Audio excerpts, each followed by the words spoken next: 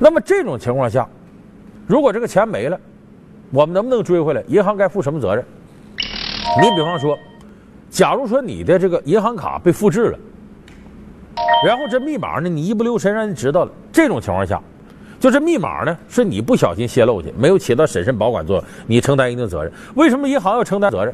因为你每个人办这张银行卡呀，它都有唯一性、可识别性，就说我这里就这一张卡，这是独一无二的。那么人家复制一张卡，就输个密码，ATM 机就不认识了，他必须承担这个责任。那么你要是网银，那另外一回事了。为啥网银不涉及到银行卡？那你自己保管不慎，你把密码告诉人家了，或让别人知道了，那你自己承担全责，银行不承担任何责任。那至于这种大额度的，银行要承担很大部分责任，而且像这种大额度的呢，他有义务呢，直接跟企业进行核实。你不能来几个人拿着这个印章，你直接嘁哩咔嚓就给办了。所以这就是银行本身存在着很大疏漏。所以这个时候银行承担责任，它是没有问题的。第二种情况。就是外边的社会人员和银行内部的员工互相勾结完成这个犯罪过程，那么这是怎么做到的呢？都有一个先提条件，叫高息揽储，也叫贴息存款。贴息存款是怎么回事呢？就是比方说每到年底或者月季季度季度末，就银行这个无论是行长啊还是往下各个办事员都有考核指标，说你完成了多少揽储任务，你揽了多少储蓄款，高息揽储，就我承诺。你要把这钱在这个时候给我存进来，那我给你很高的利息。所以往往这银行工作人员呢和一些中介联系上了，因为中介就负责这个的嘛，他认识一些有钱人或者知道哪些人手里攥着钱，哎，动员他，你把钱存这块来，或者从那银行你倒出来存我这边银行来，看起来好像这是双赢啊，大家都高兴的事儿啊。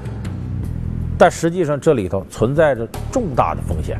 有人说，那这种情况下，如果这钱真丢了，像刚才王女士的情况，银行应该负什么责任呢？第一个呢，只要他这银行卡是银行给你办的，储蓄卡银行给你办的，那好，你跟银行就形成了一个合同，就是他对你的存款安全是有监管义务的，他必须得保证你的存款安全。如果他保证不了，那凭什么在我那儿存呢？这就是个合同，所以他没保管好你这是他违约。再第二个呢，说他自己的人出现了问题，或者临时工出现问，那对不起，你的人是代表着你银行的职务行为的。如果他身上出现问题，你银行肯定得负连带责任，就起码要负民事责任。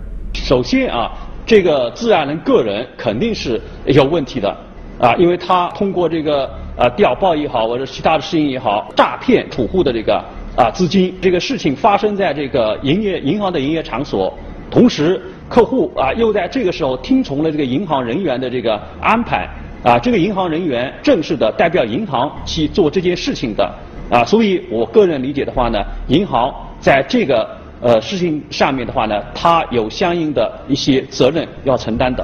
而且还有一些个银行工作人员呢，干什么事儿呢？明明是你来存钱来了，他把它转成买保险，然后把那让你签字糊弄你。